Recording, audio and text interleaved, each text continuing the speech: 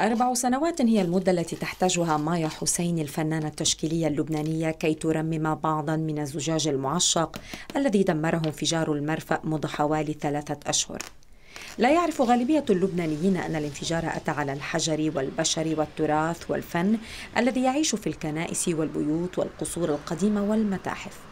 وأمام إدراكهم لقيمة ما دمر قررت مجموعة من الفنانين أن يسخروا مواهبهم في المساعدة والترميم. أكيد أتأثرت لأنه لإلي فيك تقولي 30 سنة من حياتي المهنية راحت بالأرض راحت غبرة راحت بقول صارت رمل لأنه الإزاز جاي من الرمل. رح أرجع أعمل الشغل مثل ما كان خصوصا إذا أنا كنت شغلته. وفي مشهد مشابه يمضي جابي معماري الأخصائي في ترميم التحف ساعات وأياما طويلة في محاولة لاستعادة ما دمره الانفجار. عشرون لوحة بعضها لحقت به أضرار جسيمة وبعضها مزق ومنها ما يعود إلى القرن السابع عشر. لوحات تنتظر أن تستعيد رونقها لتعود مجددا إلى مكانها على جدران منازل أصحابها. موجود عندي بالمحترف تبعي بس مطرح ما عم نعمل عملية ترميم.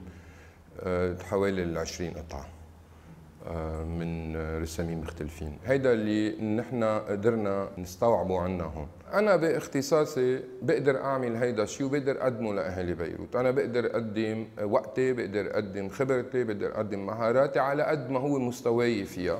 لكن مشقة العمل لا تكمن في الساعات الطويلة والدقة في التنفيذ. ولكن في صعوبة توفير سيولة لشراء المواد اللازمة من خارج لبنان. والسبب هو أزمة تحويل الأموال إلى الخارج التي يتأثر بها جميع اللبنانيين.